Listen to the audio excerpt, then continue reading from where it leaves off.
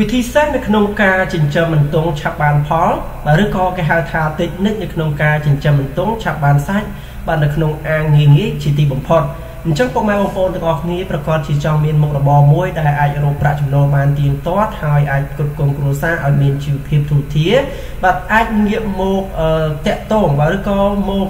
ចិញ្ចឹមអន្ទង់វិញម្ដងមើលថាតើការចិញ្ចឹមចិញ្ចឹមអន្ទង់នេះគឺទទួលបានទិន្នផលខ្ពស់បែបណានោះហើយពុកម៉ែបងប្អូនឬក៏ជាដឹងហើយថានៅក្នុងទីផ្សារប្រទេសកម្ពុជាយើងបច្ចុប្បន្នបាទទីផ្សារអន្ទង់នោះគឺពិតជាត្រូវប៉ាន់ខ្លាំងណាស់បាទអ្នកខ្លះសឹងតែរកអន្ទង់លក់មិនបានផងបាទជាពិសេសគឺយើងឃើញហើយអន្ទង់គឺប្រជាពលរដ្ឋខ្មែរយើងចូលចិត្តពិសាមែនទែនគេអាចយកទៅធ្វើឆាក្តៅបាទធ្វើស៊ុប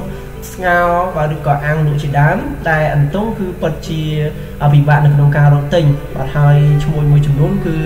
នាំចូលពីក្រៅប្រទេស យកមកលក់នៅខ្មែរយើងថែមទៀតផងអញ្ចឹងខ្មែរយើងបាទគួរតែងាកចាប់អារម្មណ៍នៅក្នុងការចិញ្ចឹមអន្ទង់វិញម្ដងមើលបាទការចិញ្ចឹមអន្ទង់ហ្នឹងគឺពិតជាងាយស្រួលមែនទែនមិនពិបាក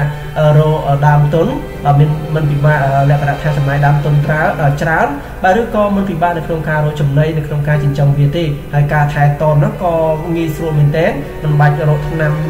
ឬក៏បាទជីថ្នាំពីក្រៅប្រទេសយកមកដាក់ទេគឺយើងអាចប្រើលក្ខណៈថ្នាំខ្មែរយើងតែម្ដង អញ្ចឹងយើងខ្ញុំនឹងធ្វើការជម្រាបជូននៅក្នុងការសាងសង់អាង ការដាក់កូនតងបែបម៉េច và ការចិញ្ចឹមបែបណាសូមតាមដានជាមួយខ្ញុំបាទជាបន្តដូចតទៅ អន្ទង់គឺជាសត្វដែលមានច្រើនប្រភេទខុសៗគ្នានៅក្នុងប្រទេសកម្ពុជាយើងអន្ទង់ដែលគេឧស្សាហ៍ឃើញមានគឺត្រូវបែងចែកជា3ប្រភេទដូចជាអន្ទង់ត្រាវអន្ទង់អន្ទង់ដំណើបអន្ទង់ព្រាត់ហើយអន្ទង់ដែលត្រូវប៉ាន់នៅលើទីផ្សារជាងគេនិងឆ្ងាញ់ជាងគេនោះគឺមានតែពីរមុខគត់គឺអន្ទង់ដំណើបនិងអន្ទង់ត្រាវហើយវាក៏ជាប្រភេទអន្ទង់ដែលងាយឆាប់នៅក្នុងការចិញ្ចឹមឆាប់ធំថែមទៀតផង បាទអន្ទង់គឺងាយស្រួលចិញ្ចឹមព្រោះវាមិនត្រូវការចំណាយដើមទុនច្រើនឬក៏ពេលវេលាច្រើនទេហើយពូជរបស់វាក៏ងាយរកថែមទៀតផងម្យ៉ាងវិញទៀតនៅលើទីផ្សារក៏មានតម្លៃបាទតម្លៃថ្លៃទៅថ្ងៃមុខអាចនឹងពង្រឹងការចិញ្ចឹមអន្ទង់បាទថែមទៀតផងនៅបាទនៅរដូវខែប្រាំងបាទខាងមុខនេះដើម្បីយកកូនបន្តពូជថែមទៀតផងបាទអញ្ចឹងយើងខ្ញុំនឹងធ្វើការជម្រាបជូននៃការកសាងអាងវិញម្ដង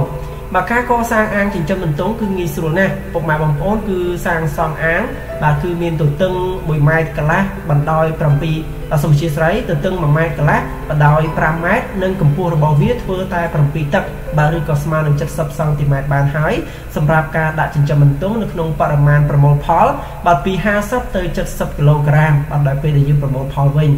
ទីតាំងអាងចិញ្ចឹមបាទត្រូវមានម្លប់បាទយ៉ាងហោចណាស់គឺត្រឹម30ទៅ40%បាទឲ្យបានម្លប់ខ្លះដើម្បីទន្ទឹងបាទដើម្បីឲ្យអន្ទង់យើងគឺអាចមានកន្លែងម្លប់ជ្រកបាទហើយពុកម៉ែបងប្អូនអាចធ្វើអាងចិញ្ចឹមអន្ទង់នៅក្បែរផ្ទះឬក៏នៅទីទួលខ្ពស់ក៏បានដែរបាទសំខាន់គឺឲ្យតែមានការប្រភពទឹកក្បែរហ្នឹងអាចនឹងបូមទឹកដាក់បាទឬក៏ផ្លាស់ប្ដូរទឹកបានទៀងទាត់ បាទយើងមកតាមដានជាបន្តទៀតចំពោះការបញ្ចូលទឹកនៅក្នុងអាងវិញម្ដងបាទការបញ្ចូលទឹកបាទពេលដែលពុកម៉ែបងប្អូនទាំងអស់គ្នាសាងសង់អាងរួចរាល់បាទរួចរាល់ហើយនោះបាទពុកម៉ែបងប្អូនអាចបញ្ចូលទឹកបាទកម្ពស់វាគឺអាចបញ្ចូលពី2ទៅ7ទឹកបាទបន្ទាប់មកគឺពុកម៉ែបងប្អូនរកវល្លិត្អើកបាទវត្តអើកបាទពុកម៉ែបងប្អូនប្រកាសជាស្គាល់ហើយ ហើយយើងដាក់វត្តអើកនៅក្នុងអាងទឹកបាទអាងទឹកដែលយើងដាក់ទឹករួចហ្នឹងគឺដាក់វត្តអើកចូលទៅបន្ទាប់មកពុកម៉ែបងប្អូនអាចដាក់សម្រាប់បាទដើម្បីខាំងកុំឲ្យសត្វផ្សេងផ្សេងមកស៊ីបាទហើយគួររក្សាទុកបាទត្រូវរក្សាទុករយៈពេលមួយសប្តាហ៍ទើបពុកម៉ែបងប្អូនអាចដាក់អន្ទង់បាទអាចដាក់កូនអន្ទង់ចូលទៅក្នុងអាងនោះបានបាទការដាក់កូនអន្ទង់ចិញ្ចឹមបាទតើយើងដាក់យ៉ាងម៉េចបាទយើងត្រូវតាក់ទងជាមួយនឹងអ្នករកអន្ទង់ដោយផ្ទាល់ឬក៏កន្លែងដែលលក់ ប្រភពអន្ទង់ច្បាស់លាស់ព្រោះពេលណាដែលយើងដឹងច្បាស់លាស់ថាអន្ទង់នោះគឺជាអន្ទង់ប្រភេទអ្វីខ្លះអាចនឹងចិញ្ចឹមឆាប់ធំនិងជៀសវាងការយកកូនអន្ទង់ឆក់យកមកចិញ្ចឹមបើប្រយ័ត្នមានបញ្ហាដែលសារតែអន្ទង់ឆក់វាអាចនឹងធ្វើឲ្យងាប់អន្ទង់ផ្សេងផ្សេងទៀតនៅក្នុងអាងជាមួយគ្នានៅពេលដែលចិញ្ចឹមបានរយៈពេល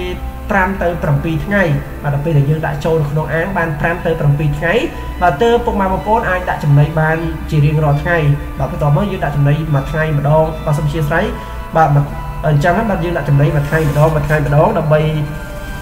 បាទដើម្បីចិញ្ចឹមវាបាទវិធីក្នុងការផ្ដល់ចំណីគឺត្រូវយកកញ្ច្រែងបាទដាក់ចំណីផុតពីផ្ទៃទឹកបាទផុតផុតទឹកហ្នឹងបាទប្រភេទចំណីពុកម៉ែបងប្អូនគឺងាយស្រួលរកមែនទែនបាទដូចជាត្រីត្រីអត់ត្រីអីហ្នឹងគឺត្រីអត់តែត្រីយើងយកមកស្ងោរហើយដាក់កញ្ច្រែងឲ្យវាស៊ីទៅ បាទហើយយើងបើបើសិនជាយើងអត់មានត្រីយើងមានខ្យងក៏បាន មានក្រុមក៏បាន ក្តាមក៏បានឬក៏កន្ទក់បាត់ក៏បានដែរឲ្យតែយើងមានលទ្ធភាពរោគប្រភេទចំណី4 5មុខនេះបាទចំពោះការថែទាំវិញគឺពិតជាងាយស្រួលខ្លាំងណាស់ក្រោយពីចិញ្ចឹមបានមួយខែត្រូវតែផ្លាស់ប្ដូរទឹកឲ្យបាន3ដងបាទព្រោះថាការផ្លាស់ប្ដូរទឹកនេះដើម្បីឲ្យអន្ទង់អាចជាផុតពីជំងឺបានបាទអញ្ចឹងយើងគួរតែផ្លាស់ប្ដូរទឹកនៅក្នុង បើយើងឧស្សាហ៍ដូរទឹកយើងអាចដូរប្រហែលជា10ថ្ងៃដូរម្ដងទៅបាទ10ថ្ងៃដូរទឹកម្ដងមួយខែដូរ3ដងប្រភេទជំងឺដែលកើតមានឡើងលើអន្ទង់គឺអត់មានច្រើនទេបាទវាកើតមានជំងឺតែដំបៅបាទដំបៅនោះឯងដូចជាត្រីដូចជាអីបើយើងចិញ្ចឹមគឺវាតែតែមានបាក់ដបៅហើយអន្ទង់គឺដូចគ្នាបាទវាគឺតែតែមានដបៅនៅលើខ្លួនវា បាទករណីមានជំងឺនេះគឺត្រូវតែចាប់អន្ទង់ដែលឈឺឬក៏មានដំបៅនោះចេញពីអាងយកទៅព្យាបាលភ្លាមព្រោះវាអាចនឹងងាយរាលដាលជំងឺនេះទៅដល់អន្ទង់ផ្សេងផ្សេងទៀតដោយសារតែអន្ទង់ផ្សេងផ្សេងទៀតគឺវាទៅចាប់ស៊ីដំបៅរបស់គេការព្យាបាលហ្នឹងគឺមិនពិបាកទេបាទត្រូវយកលំពងរំពងត្រោះបាទលំពងត្រោះស្រស់បាទឬក៏ហាបាទឬក៏ដើមរាំងបាទឬក៏មេឃរាំងក៏បានដែរ បាទហើយកាត់វាជាកំណាត់កំណាត់ដាក់នៅក្នុងធុងមួយទៅឬក៏កធុនមួយបាទឬក៏អាងផ្សេងផ្សេងដែលត្រូវត្រូវការព្យាបាលទងមួយដុំហ្នឹងបាទយើងឃើញថាបាទដើមរាំងឬក៏គេហៅថាលំពងត្រោះបាទគឺមានអត្តពលខ្លាំងមែនទែនបាទដោយសារតែជ័ររបស់វាបាទយើងឃើញថាពេលដែលជ័រវាចេញនៅក្នុងទឹកបាទដល់ពេលយើងដាក់អាកំណាត់កំណាត់ មេឃរាំងដើមត្រោះហ្នឹងចូលទៅក្នុងទឹកទៅបាទវាជ័ររបស់វាហ្នឹងគឺអាចផ្សះដំបៅរបស់អន្ទង់នឹងការពារមិនឲ្យអន្ទង់ដំបៅទៀតបាន ហើយនឹងឆាប់ជាថែមទៀតផងបាទចំពោះការប្រមូលផលវិញបាទការប្រមូលផលយើងអាចប្រមូលផលអន្ទង់បាននៅពេលដែលអន្ទង់មានអាយុចាប់ពី8ខែឡើងទៅ អញ្ចឹងការចិញ្ចឹមរបស់យើងតែ8ខែហ្នឹងគឺអាចទទួលបានផលហើយហើយមុនពេលប្រមូលផលត្រូវតែផ្លាស់ប្ដូរទឹកឲ្យបាន5ដងនៅក្នុងរយៈពេល1ខែបាទអញ្ចឹងឧទាហរណ៍ខែទី8ហ្នឹងយើងត្រូវប្រមូលផលបាទនៅក្នុងខែ8ហ្នឹងយើងគួរដូរទឹកឲ្យបានញឹកបាទរៀងរាល់ខែយើងដូរមួយខែ3ដងទេបាទដល់ពេលយើងប្រមូលផលយើងដូរ5ដងទៅ បាទដើម្បីការធ្វើដូចនេះដើម្បីឲ្យអន្ទង់របស់យើងនេះគឺមានពណ៌ក្រហមគ្មានក្លិនស្អុយហើយការប្រមូលគឺត្រូវបង្ហូរទឹកចោលឲ្យអស់ពីអាងទើបបញ្ចូលទឹកវិញហើយបញ្ចូលទឹកត្រឹមតែកម្ពស់ពីទឹកបានហើយបាទមានន័យថាកម្ពស់អាងយើង7ទឹកយើងបញ្ចូលវាតែពីទឹកបានហើយទុករយៈពេលប្រហែលជាកន្លះម៉ោងទើបបង្ហូរទឹកនឹងចោលហើយពុកម៉ែបងប្អូនអាចចាប់វាលក់បានតែម្ដង បាទនេះគឺជាវិធីសាស្ត្រនៅក្នុងការចិញ្ចឹមអន្ទង់នៅក្នុងការធ្វើអាងនៅក្នុងការថែទាំអន្ទង់បាទនៅក្នុងការមើលជំងឺអន្ទង់បាទនៅក្នុងការឲ្យចំណីអន្ទង់ពុកម៉ែបងប្អូនដឹងទាំងអស់គ្នាហើយបើសិនជាមានចម្ងល់តាក់ទងជាមួយនឹងការចិញ្ចឹមនេះបាទអាច comment នៅខាងក្រោមវីដេអូនេះបានយើងខ្ញុំនឹងធ្វើការផ្ដល់ជូនជម្រាបជូនឲ្យពុកម៉ែបងប្អូនឆាប់យល់ហើយនេះគឺជាវិធីសាស្ត្រនៅក្នុងការចែករំលែកសម្រាប់អ្នកដែល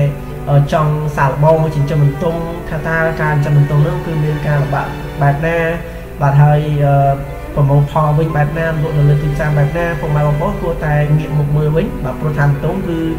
ងាយស្រួលនៅក្នុងការចិញ្ចឹមបាទមិនពិបាកដូចជាត្រីទេបាទត្រីគឺអាចមានជំងឺច្រើនបាទចំណែកបន្ទុំវិញគឺមានតែជំងឺដបៅបើយើងព្យាបាលបានគឺល្អមែនទែនដោយសារតែបន្ទុំគឺអត់មានប្របាករហូតឆ្នាំទេ